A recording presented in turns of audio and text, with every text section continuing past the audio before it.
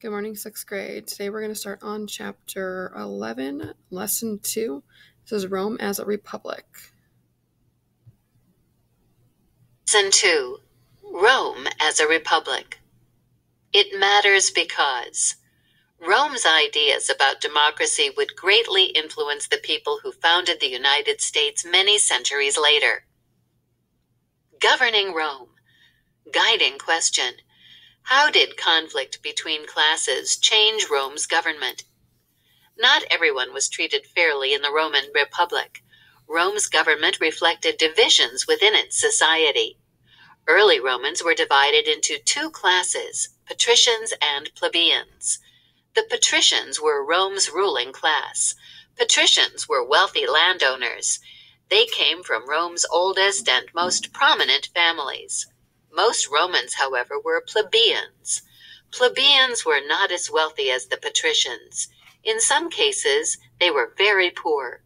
Plebeians included artisans, shopkeepers, and owners of small farms.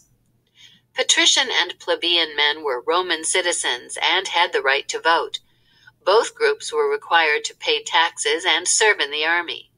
Plebeians, however, had a lower social position than the patricians. For example, it was illegal for a patrician and a plebeian to marry each other. Plebeians also lacked important basic rights. They could not hold public office or lead the public ceremonies that honored the gods of Rome. Rome's republic would be shaped by a struggle between the patricians and the plebeians over the right to govern. Government of the Republic. The government of the Roman Republic was organized into three branches. One branch made laws, another ran the daily affairs of government, a third branch acted as judges. The Republic had a system of checks and balances. This system was designed to prevent one branch from becoming too strong. It did not separate powers like the United States government does today, however. Judges helped run the government and could lead armies. Some leaders who ran the government also helped make laws. Two patrician consuls headed the government. The consuls were administrators and army leaders. Each consul served one year in office. Their terms of office were short so that they would not become too powerful. Each consul could veto or reject the other's decision. The word veto is Latin for I forbid. Rome also had other major government officials called praetors. They interpreted the law and served as judges in court. They could also lead armies. The Senate was Rome's legislature. The Senate was a group of 300 patrician men. These senators served the Republic for life. During the early Republic, the Senate only advised the consuls. By the 200s BC, however, senators debated foreign policy, proposed laws, and approved the construction of roads and temples. The Assembly of Centuries was another legislative body in Rome. It elected consuls and praetors and passed laws. The Assembly of Centuries was, like the Senate, controlled by patricians. Conflict between classes. As time passed, the plebeians grew frustrated. They had to serve in the army and pay taxes, yet they had no power in the government. In 494 BC, many plebeians went on strike, refusing to fight in the army. They even left Rome to create a government of their own. The patricians feared that the republic was in danger of collapsing, so they agreed to share power with the plebeians.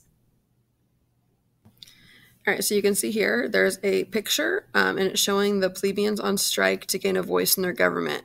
Um, that's showing that it turned violent. So the Romans and the plebeians were on at least five strikes in order to establish their rights. So they were striking and refusing to fight in the armies. The patricians allowed the plebeians to have their own body of representatives, called the Council of the Plebes. The Council of the Plebes elected officials called tribunes. Tribunes voiced plebeian concerns to the government. Tribunes could also veto government decisions.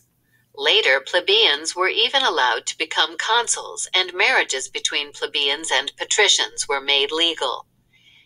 In 287 BC, the plebeians won another important political victory.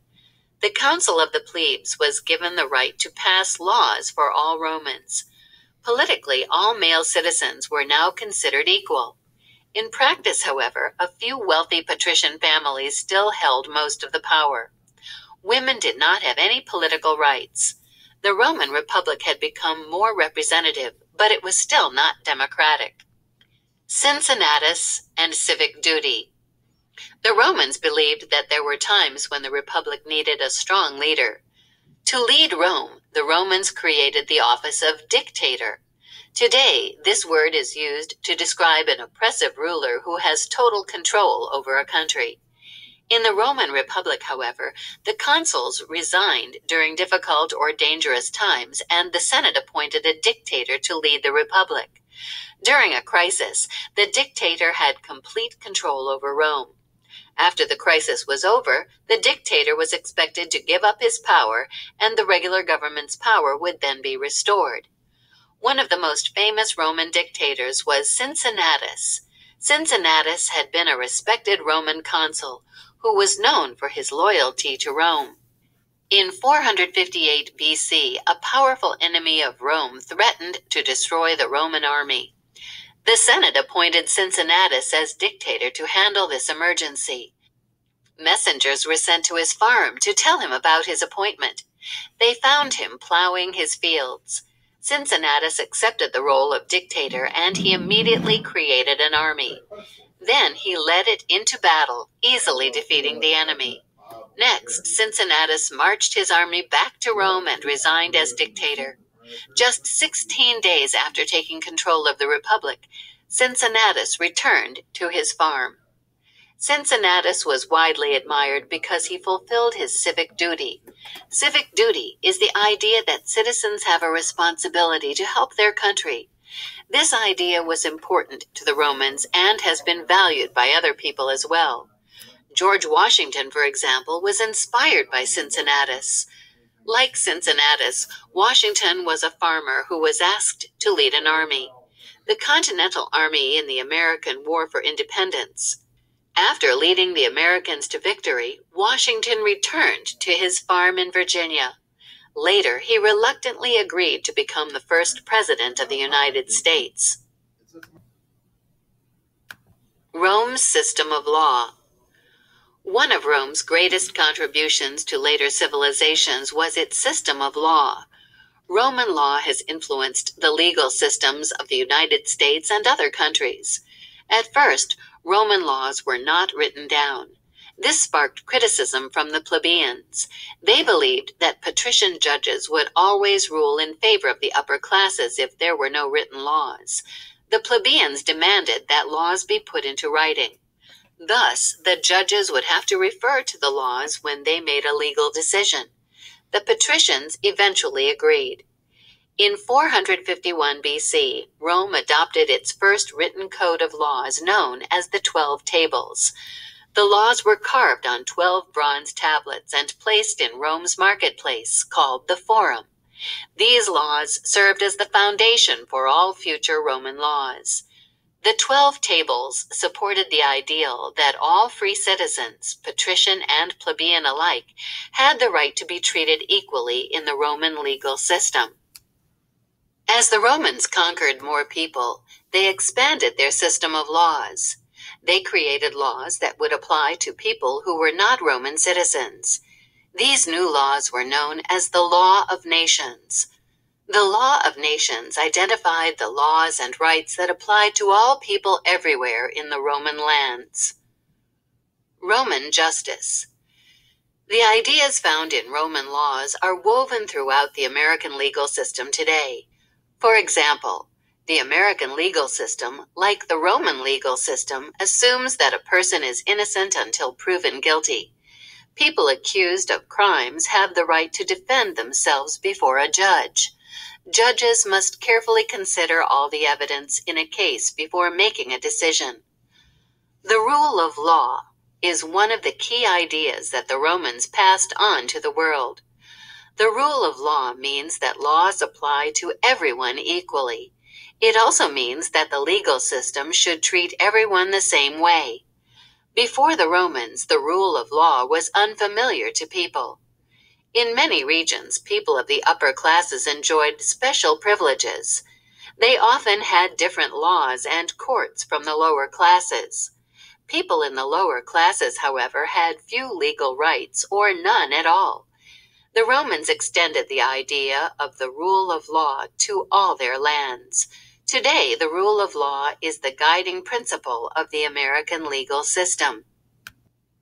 All right, we have the picture over here that shows the Roman court system shared many similarities with the legal system in the United States today. So, again, um, everybody's um, innocent until proven guilty. Uh, there was a judge, there's a jury. So, a lot of that um, stems from from the legal system of the Romans, where um, the laws apply to everyone equally. It doesn't matter whether you're um, upper class or lower class, the laws are the laws.